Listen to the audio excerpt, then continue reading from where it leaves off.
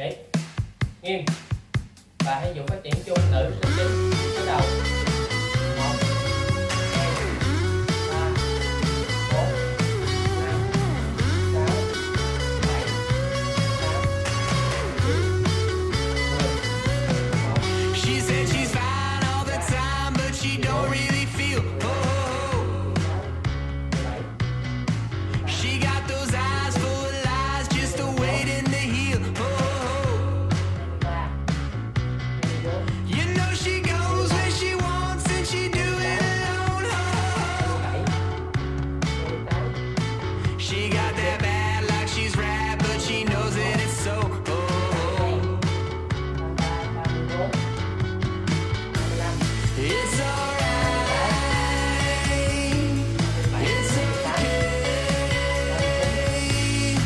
These